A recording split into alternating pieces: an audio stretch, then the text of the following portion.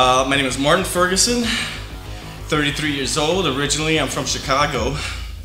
I've been living here in Madison for the past 10 years. And, and I am an IBEW journeyman electrician.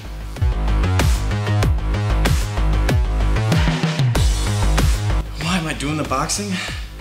Um, just to get another notch onto my belt. Just to prove to myself that uh, it's something I can do. On top of that, it's it's so much fun training. I love it. I, I just want to just get better and better.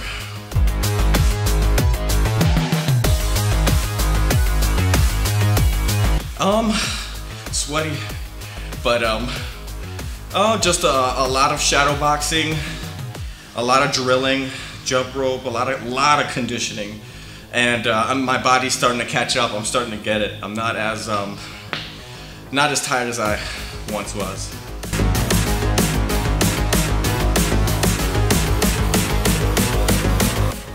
Outlast me.